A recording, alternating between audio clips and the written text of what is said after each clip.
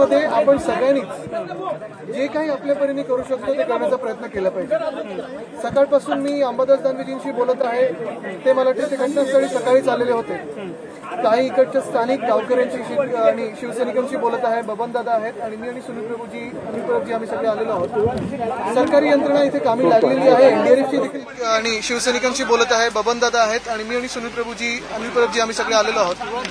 सरकारी यंत्रणा इथे कामी लागलेली आहे. एनडीआरएफची देखील मदत सुरू आहे. मला वाटतं लवकरात लवकर ही मदत जे लोक अडकलेले आहेत त्यांच्यापर्यंत पोहोचवणे सगळे सुखरूप राहावे. हीच आता देवाकडे प्रार्थना असेल. कारण परिस्थिती आपण पाहताय खूप कठीण आहे. आम्ही देखील इकडे स्थानिक गावकऱ्यांशी भेटत आहोत ज्यांचे नातेवाईक इथे आहेत जे काही तिथे अडकले असतील फसले असतील त्यांच्याशी देखील बोलण्याचा प्रयत्न करत आहोत त्यांना धीर देण्याचा प्रयत्न करत आहोत. आपण देखील प्रेस म्हणून आणि आम्ही देखील सगळेच काही तिथे घटनास्थळी जाऊ नाही शकत. एकदम अडचणीचा तो एक भाग आहे तिथे. आणि महत्वाची गोष्ट म्हणजे जाणं देखील योग्य नाही कारण नाही तर आपल्यामुळे कुठेही एनडीआरएफला अडथळा निर्माण होऊ नये म्हणून आम्ही सगळे इथेच थांबत आहोत. पण गावकऱ्यांची साधारणपणे त्यांना धीर देण्याचा आम्ही प्रयत्न करत आहोत. यापूर्वी देखील अशा पद्धतीच्या घटना घडलेल्या आहेत. आहे हे एक पाहिलं पाहिजे आपण की जसं मी नेहमी मला वाटतं दोन तीन वर्ष तर बोलत आल- आलेलो आहे की वातावरणीय बदल हे आपल्या डोळ्यासमोर सत्य दिसत आहे.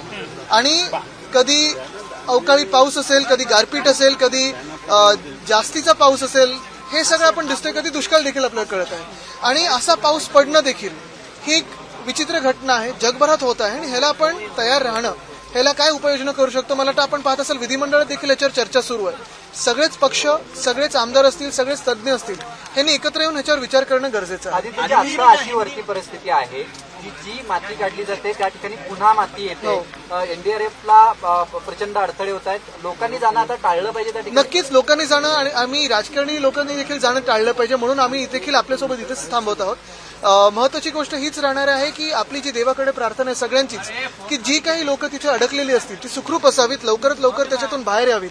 ह्याच्यासाठी कुठेही अडथळा निर्माण होऊ नये. जर कोणी तिथे सापडलंच. इंजर्ड असेल किंवा एकदम बिकट परिस्थितीत असेल तर त्यांना लवकरात लवकर खालती आणण्यात यावं. ह्याच्यासाठी कुठेही ट्रॅफिक होऊ नये.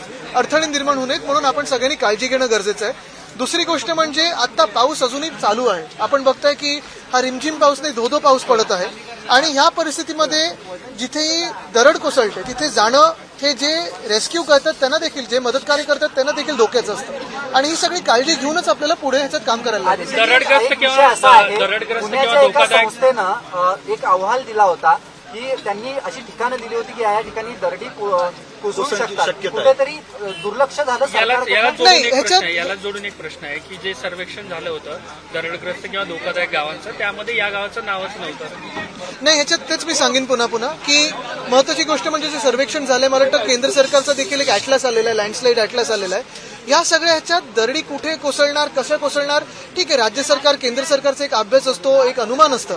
पण त्याही पुढेकडे जाऊन मला वाटतं आपण पाहिलं असेल की जे काही आजूबाजूचे वातावरणीय बदल आहे किंवा जे वातावरण बदलत आहे हा पाऊस असेल किंवा इतर जे काही दिसत आहे आपल्याला ह्याला कोणी अपेक्षित असेल असं हे वातावरण नाहीये. आणि म्हणून इथे आत्ताच्या स्थितीला मला वाटतं मदतकार हे पहिलं गरजेचं आहे.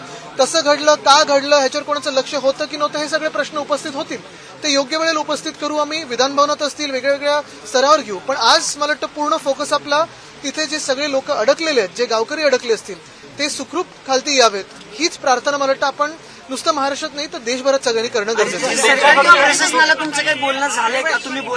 नाही आता आम्ही कलेक्टर साहेबांना फोन करण्याचा प्रयत्न करत होतो.